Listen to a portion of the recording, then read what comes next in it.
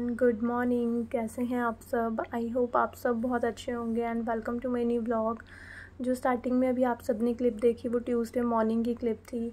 हमारे घर पे इतनी अच्छा माहौल मतलब आप सबने देखा फैमिली ब्लॉग्स इससे पहले मेरे गए। कितना खुशी का टाइम चल रहा था। मम्मी आई हुई थी और हम सब का मिल इधर से उधर घूमना, फिरना, गप्पे करना, इस टाइप का माहौल था दो तीन दिन तक।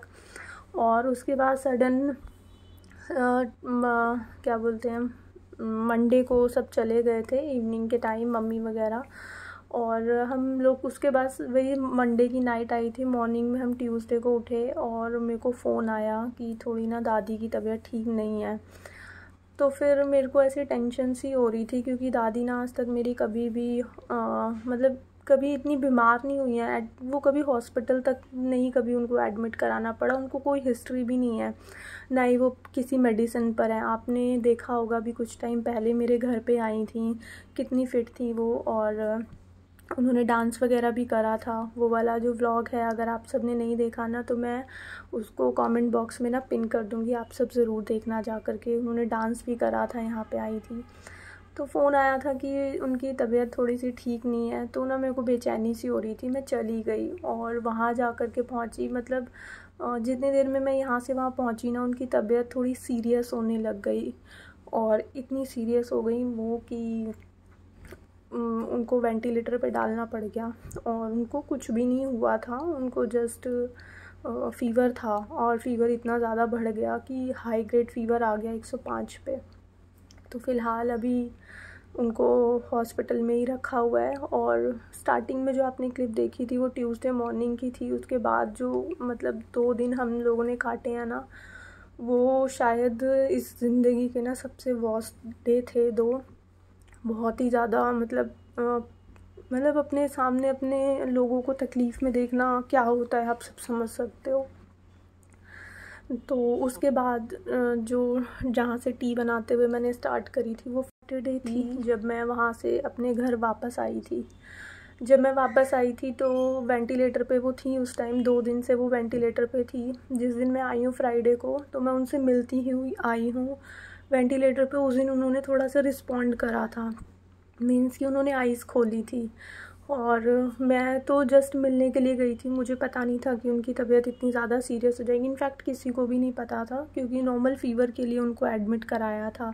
तो पास के हॉस्पिटल वालों ने मना कर दिया कि हम लोग नहीं संभाल पाएँगे तो फिर हम दूसरे हॉस्पिटल में लेके गए। और फिर जस्ट मैं ऐसे पैकिंग वैकिंग कुछ नहीं, जैसी मैं थी वैसे ही बस निकल गई मैं। मतलब सेम कपड़ों में गई थी, कुछ लेके नहीं गई थी। और नाइनटीन को हमारा पूरा प्रोग्राम था। मतलब एक ग्रैंड पार्टी ऑर्गेनाइज़ करी हुई थी क्योंकि मेरे भाई का बेटा भतीजा होता है। मैं बार बार कंफ्यूज हो जाती हूँ भांजा या भतीजे में।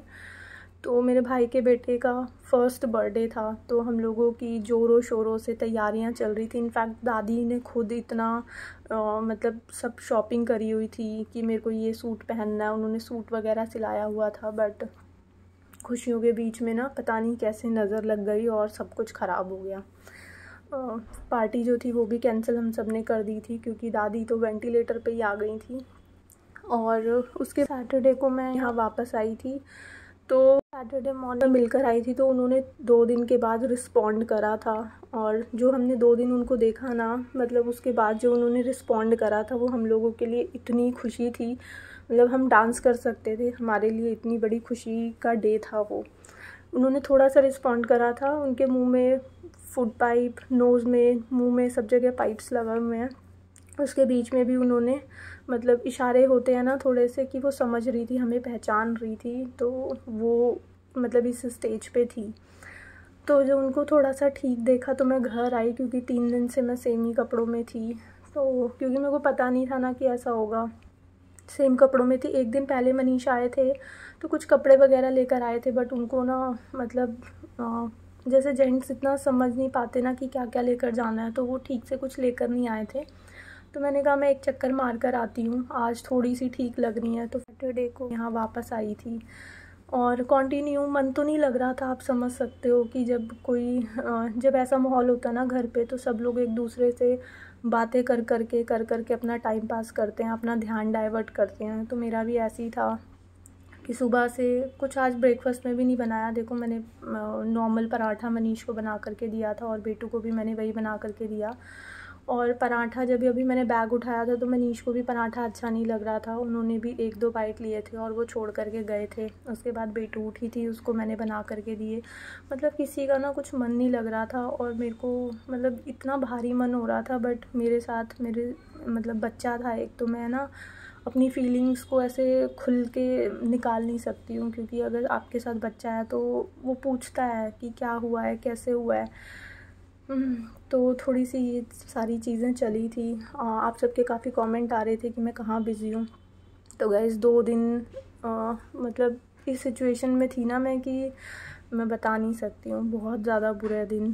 सैटरडे को हमारी मतलब एक उम्मीद की किरण जो थी वो नज़र आई थी और उसके बाद मैं थोड़ी देर के लिए घर आई थी कि मैं एक चक्कर मार कर आती हूँ। शाम को मैं वापस चली जाऊँगी।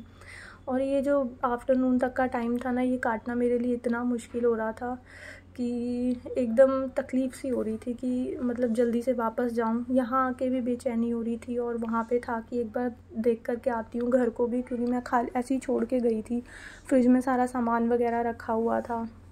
तो आज थोड़ा सा ठीक है तो मैंने घर हो आती हूँ और कुछ कपड़े वगैरह भी ले आऊँगी जब तक मतलब प्रॉपर ठीक नहीं हो जाती। मेन था कि उनको वेंटिलेटर से जब तक नहीं उतारा जाता ना, तब तक सबके जो दिल थे ना, वो धक धक कर रहे थे। और वेंटिलेटर पे जाने से पहले भी इतनी लंबी स्टोरी है कि अगर मैं बताने बैठूँगी ना, बहुत ज़्यादा टाइम लग जाएगा। मतलब जब दिन ख़राब होता है ना तो सब कुछ ख़राब हो जाता है। मतलब इतना भी हो गया कि एक एंबुलेंस में सिलेंडर ख़त्म होने को हो गया। दूसरी सिलेंडर दूसरी एंबुलेंस करी तो वो एंबुलेंस बहुत दूर से आई हुई थी।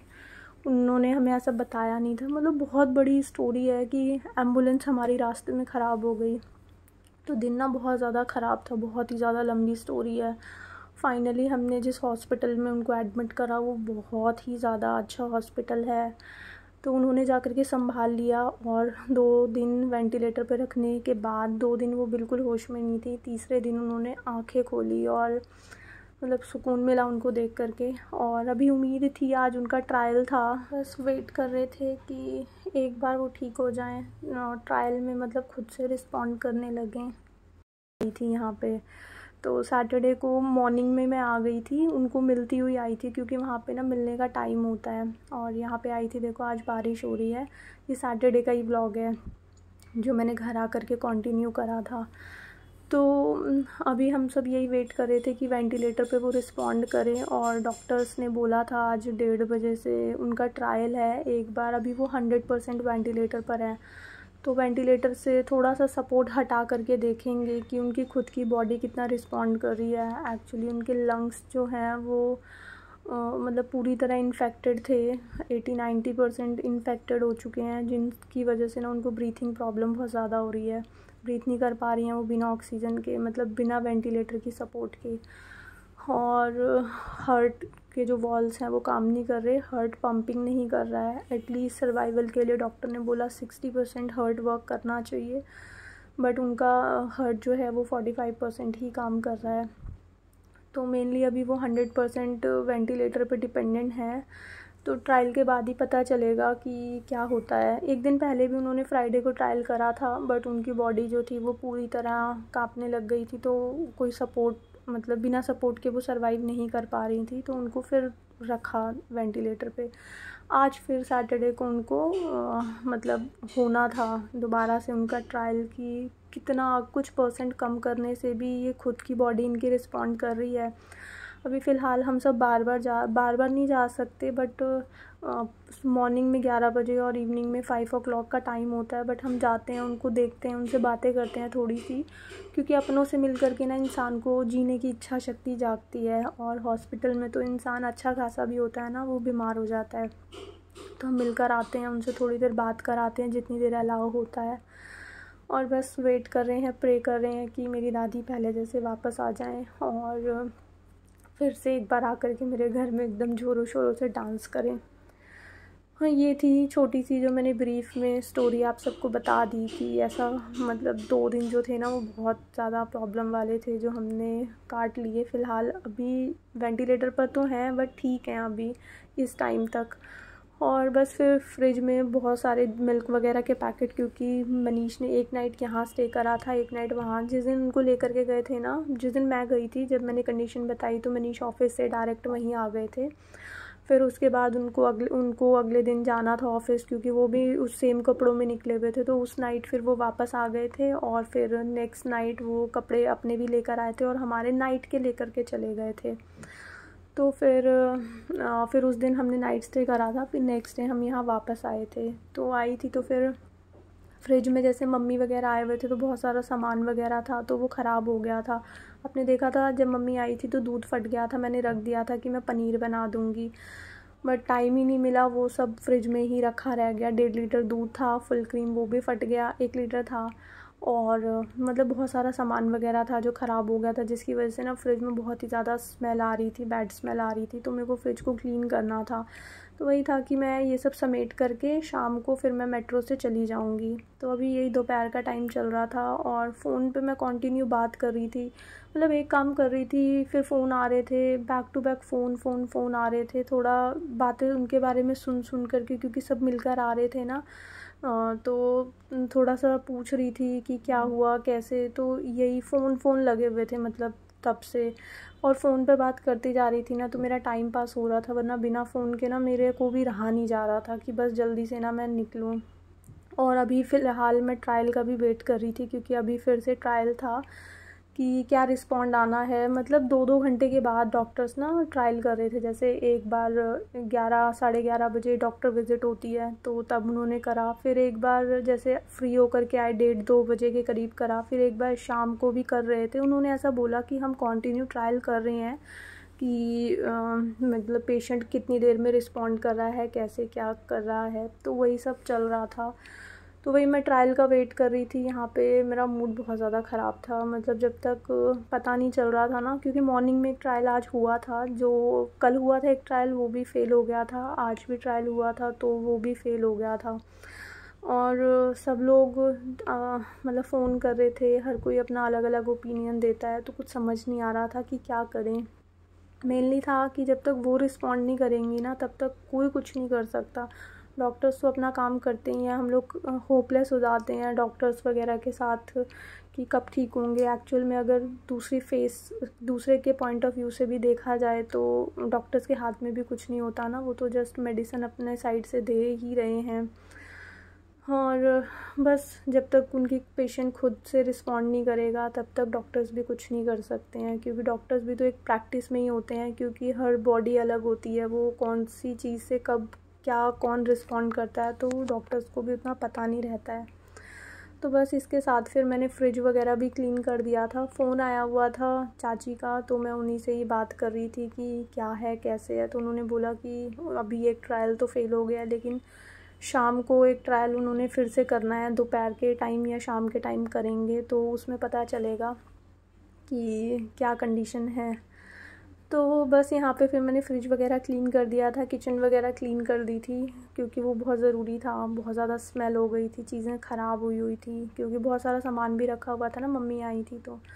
उसके बाद कपड़े वगैरह भी थोड़े दो तीन दिन के इकट्ठे हुए हुए थे, वो भी मैंने कहा, वॉश कर देती हूँ जब आई हूँ। तो सब सामान मतलब सेट करके जाती हूँ। पीछे बालकनी में भी बहुत ज़्यादा डस्ट वगैरह हुई हुई थी। बिल्कुल कुछ काम करने का मन नहीं कर रहा था, जो मतलब बहुत ज़्यादा नीडेड चीज़ें थी ना जस्ट मैंने वही करी थी। फ्रिज क्लीन करा था थोड़ा सा ब्रेकफास्ट में वही पराठे सबको बना करके दिए थे और उसके बाद कपड़े वगैरह वॉश करने ज़रूरी थे, क्योंकि हम आए थे तो मिलते हुए आए थे हॉस्पिटल से।